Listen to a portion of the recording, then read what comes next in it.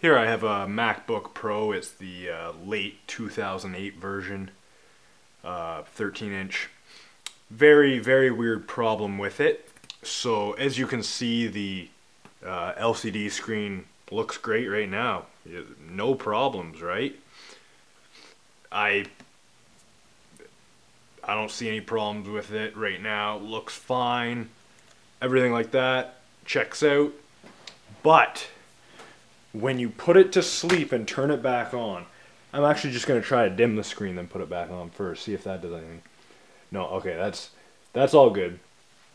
But when I put it to sleep, so it's sleeping right now, then I go to wake it up,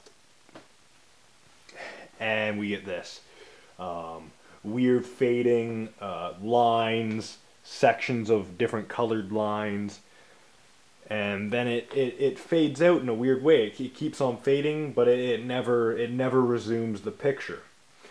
And all I have to do is hold the power button to and then press enter, which turns it off, and then turn it back on, and it's fine again. So putting it to sleep causes a problem. There's uh, I can't see any simple fix on a way to fix it, but anyways, that's what it does. I just thought it was really weird, so I'd make a video about it. Thanks for watching.